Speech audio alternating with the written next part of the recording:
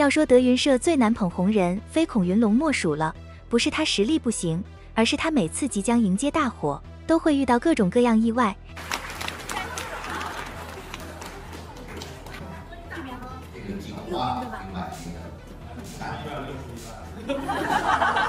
前段时间，孔云龙给郭瑜二人助演一段改编版《捉放曹》，让孔云龙再次大火，风头甚至盖过师傅郭德纲。老郭也当场放话，接下来要力捧孔云龙。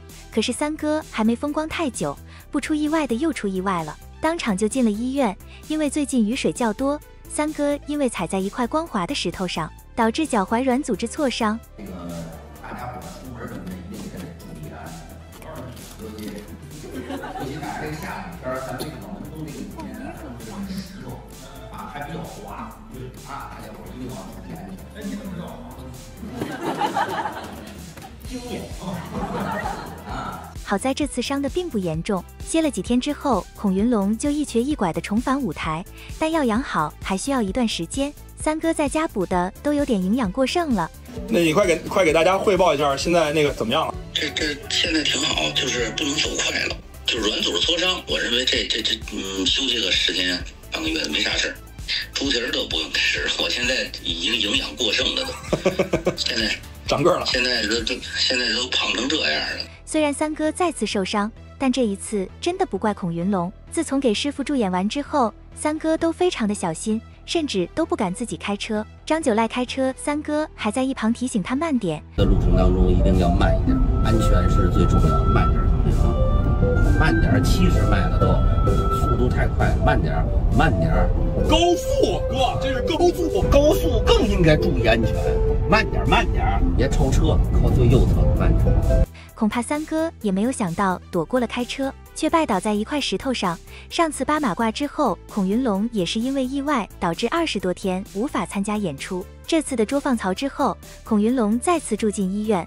难怪郭老师对于三哥的要求是一降再降。前些日子有记者问我说：“您看孔云龙的艺术特点？”我说：“就是结实。”哎，咱就别提艺术了，是吧？你也不用艺术上再有什么出色的地方，你只要别死我头里就行。从卧病在床昏迷不醒，到如今的休养几天就可以登台。从三哥养伤的时间来看，估计三哥下次大火就不用进医院了，老郭也可以放心的力捧孔云龙了。毕竟三哥才是老郭最心疼的徒弟，就连郭麒麟都享受不到老郭给三哥的待遇。师傅，就是我也来，我不是我也没带钱包，我我背个包，穿着吧，看到孔云龙扣子没扣好，老郭立马上前为其整理。就连少班主郭麒麟都露出一脸羡慕的表情看着孔云龙。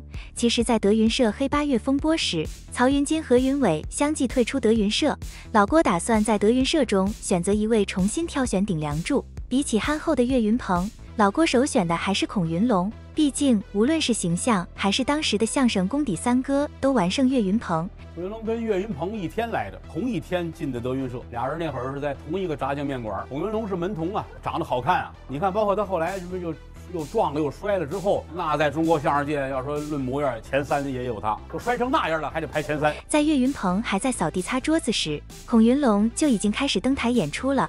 在二零一一年三月，老郭还为孔云龙举办了相声直播专场。那时的孔云龙，就连老郭如今提起来都满脸的骄傲。郭老师也接触新媒体了，也直播了。不是也直播了，是又直播。又直播了。因为这是第一次直播什么时候？十三年前，我们有一个演员叫孔云龙。直播了二十五场相声专场，每场四段传统节目，他连说了一百段不重复。这是十三年前我们先干的。虽然随后的几年，孔云龙因为种种原因，不断的在舞台与医院之间反复穿梭，但如今孔云龙再次大火，也重新让老郭燃起了捧红孔云龙的希望。三哥也没有辜负老郭的力捧。跟搭档张九赖两人不断的创作出新的包袱，无论是最近的灵异相声，还是两人的歌曲《这才哪到哪》，都给大家带来许多的欢乐。在近期的直播中，张九赖还透露，三哥姐夫跨日的段子已经创作完成，之后还会继续的打磨，将在年底与大家见面，让我们一起期待吧。